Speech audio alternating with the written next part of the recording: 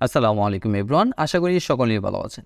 তো আমরা কিন্তু এখন সবাই জানি যে নোকিয়া তাদের নতুন আরেকটি ফোন বাজারে লঞ্চ করতে যাচ্ছে, যার নাম হলো নোকিয়া ম্যাজিক ম্যাক্স তো এই নোকিয়া ম্যাজিক ম্যাক্স নিয়ে কিন্তু একটি কথা শোনা যাচ্ছে যে এই ফোনটি নাকি আইফোনের সাথে টক্কর দিবে।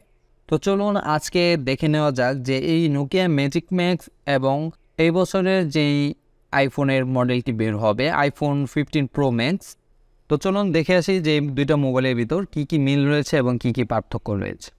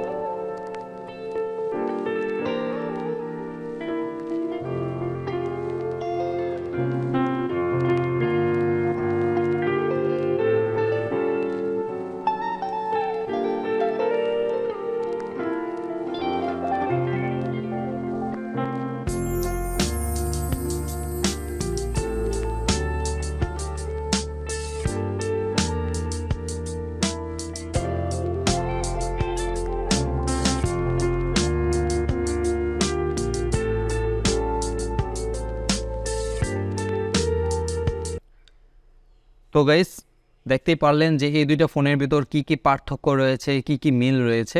আশা করি এই বিষয়টি বুঝতে পেরেছেন। তো ভিডিওটি ভালো লাগলে অবশ্যই ভিডিওতে লাইক করবেন এবং আপনার বন্ধুদের সাথে শেয়ার করে দিবেন। আর আপনি কি ধরনের ভিডিও চান, কোন ফোনের রিভিউ চান, তা কিন্তু অবশ্যই অবশ্যই ভিডিওর কমেন্ট করে জানাবেন। তো গাইস এই ছিল আজকের মতন। দেখা হবে খুব শীঘ্রই নতুন, অন্য কোনো ভিডিওতে এ পর্যন্ত ভালো থাকুন, সুস্থ থাকুন। আল্লাহ হাফেজ।